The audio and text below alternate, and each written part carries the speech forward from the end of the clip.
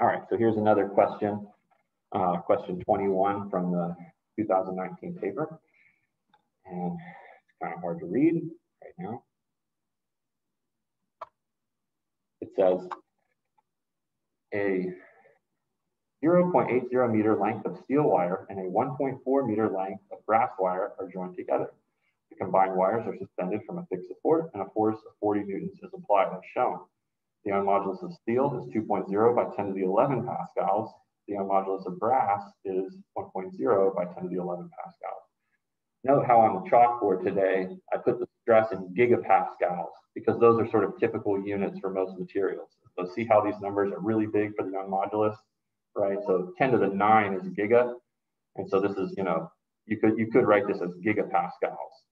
Okay, this would be what 200 gigapascals, 100 gigapascals. Each wire has a cross-sectional area of 2.4 by 10 to the negative 6 square meters. So a square meter would be like if I took a meter ruler and another meter ruler and I built a square out of it, that's a big area. These are tiny wires, and so it's a millionth, right? 2.4 millionth a square meter. So really, really tiny areas you might expect for something like a wire. We're trying to calculate the total extension.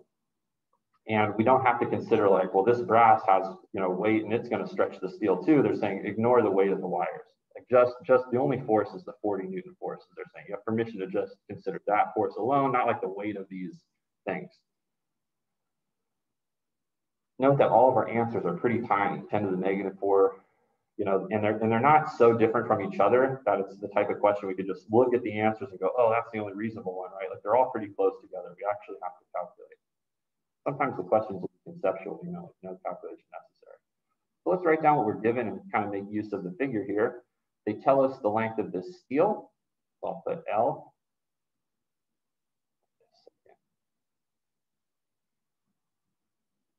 Grab my writing tool. All right. So here we have the steel, and I'm going to call it L for original length and that one is 0.8 meters. And the length of my brass was 1.4 meters.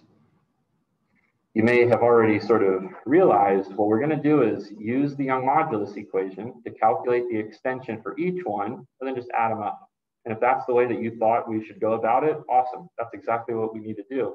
I don't think there's another way to, to solve it. And so let's remind ourselves that what the Young modulus is telling us. So the Young modulus, we use letter E for that, just like we do for energy, other things. And so the Young modulus is equal to force over area over extension over original length, right? So it's the stress over the strain. We've said that as kind of a shortcut. We can just say it's the force times the original length over the area times the extension. And what we kind of want to do is rewrite this to make the extension the subject, because we know we're solving for that, right? They ask us like, hey, what's the extension? Rather than putting all of these long scientific notation numbers in and manipulating those, let's do our math with letters. And I know that that's what students sometimes don't like to do right now. It's like, I like my math with numbers, but it really is easier to just kind of, you know, what do we need to multiply to kind of get x all by itself? So I would want to multiply this side of the equation by a over FL. Am I allowed to do that because it's convenient? Just multiply this by A over FL? No and yes. No, you're not allowed to just multiply something by A over FL unless you do it to the other side. Then you are allowed. That's algebra, right? What you do to one side, do the other.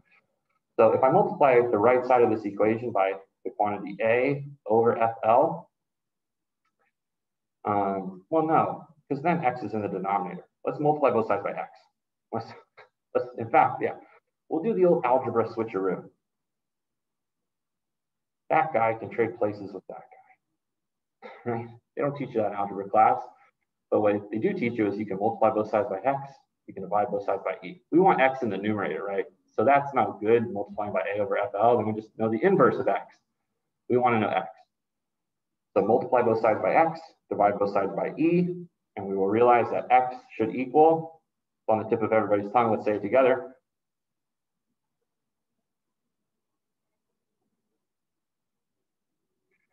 Yeah, everybody on YouTube couldn't hear because not everybody's mic, but there was a, a lot of enthusiasm in the room for FL over AE, and everyone's really excited that we were able to make X the subject of this equation.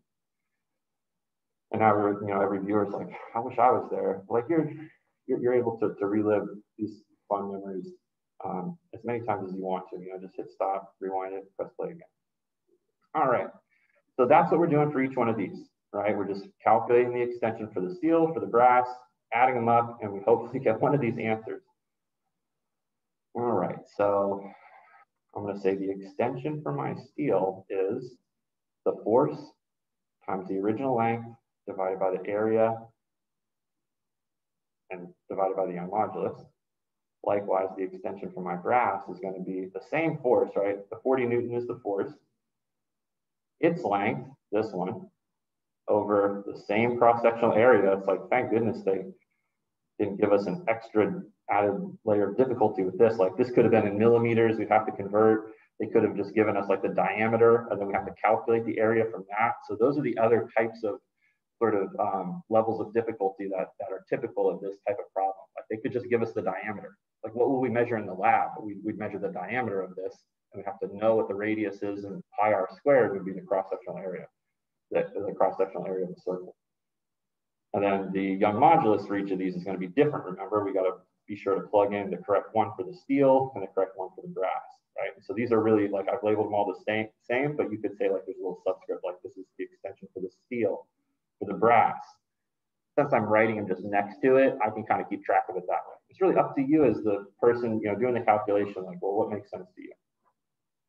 All right, so we got 40 newtons. I got 0.8 meters divided by 2.4 by 10 to the negative 6 meters squared for the cross-sectional area. And this is my steel, which has a young modulus of 2 by 10 to the 11 pascals. Remember, Pascal is a Newton per meter squared. So in the denominator, like the meter squared cancels, and I have newtons, and that's going to cancel with this one. So I'm left with meters, which is a good unit for extension. Remember, the units will always kind of take care of you to make sure you should get what you you expect to, what you're solving for if you plug everything in correctly. So the units sort of work out here, like they should. While you guys are um, getting the calculators out, I'm going to set up this one here, and then we'll, we'll compare notes in a moment. So they, we don't have to consider the weight of the brass or the steel wires themselves, just the 40 Newton uh, force. The brass was 1.4 meters long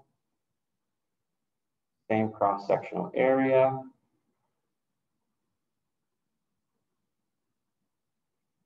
And a young modulus half of that of steel, right? 1.0 by 10 to the 11 pascals.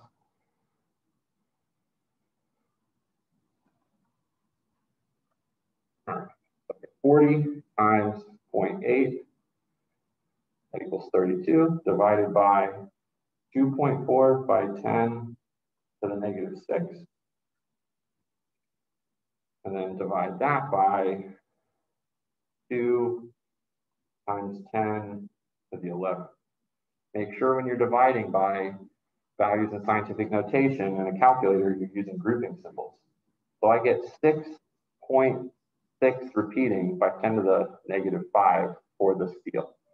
So the steel with a 40 Newton weight attached to it would extend 6.7 by 10 to the negative 5 meters. How about the brass? 40 times 1.4 is 56 divided by open parentheses 2.4 times 10 to the negative 6 close parentheses equals divided by open parentheses 1 times 10 raised to the 11 close parentheses, equals. And I get the extension for the brass over there to be 2.3 repeating by 10 to the negative 4 meters.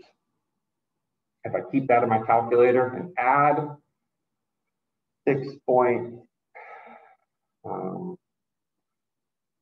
6 repeating times 10 to the negative 5 I get 2.9999, which is basically 3 by 10 to the negative 4 meters, which is choice B. It's, it's always good when you see the answer you calculate as one of the multiple choice you know, selections, but that doesn't guarantee you did it right. It just means like, well, I either, you know, did something right that then I made a mistake that led to this typical incorrect answer, right? Because there's always been an answer where it's like you can do something that's nearly right, but it, it's it's you know still wrong. Um, so let's check the mark scheme. This is question 21 from the same paper. I think we just had it queued up a moment ago. We're looking for 21B. Hold on a second. It's interfering. 21B. There you go right? And you can clearly see all that working, but it's a little bit better like that. All right, and that's a really good um, sample question, worked example problem that is relevant to the essential question of the day. How do I define and use stress, strain, and modulus? Note that embedded within the definition of modulus is stress and strain. We can just kind of put them all together because the modulus is the ratio of those two things.